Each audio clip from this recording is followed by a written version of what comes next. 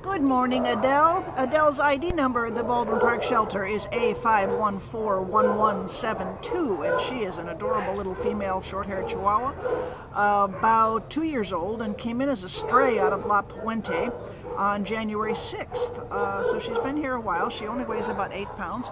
And Adele is, you might be able to see, she's trembling a little bit. Mostly she's just scared. She's very, very insecure. She likes being held, Lydia tells me, and she but she's cooperative coming out of the kennel.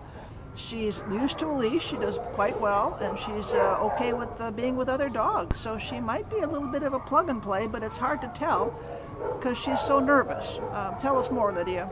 Um, yeah, she's just. To me, she seems like she's a sweet little girl. She's kind of curious, kind of sniffs around and stuff. Um, she had a kennel mate uh, a couple of days ago, and yeah. then you know, I don't know what happened to him. He probably maybe somebody adopted him, but um, she got along.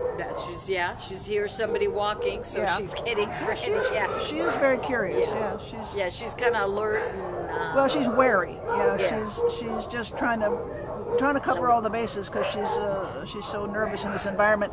And you know, as we always say, how can you how can they not be? All these smells and all these sounds, and it's you know it's fairly new for her. So and she lost her pack. Poor little thing.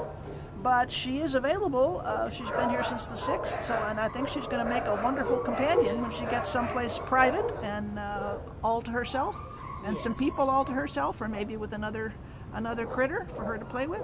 So please come on down to the Baldwin Park shelter and get Adele out of here. She's already been here a week, and it's already too long. Right, baby? Good girl.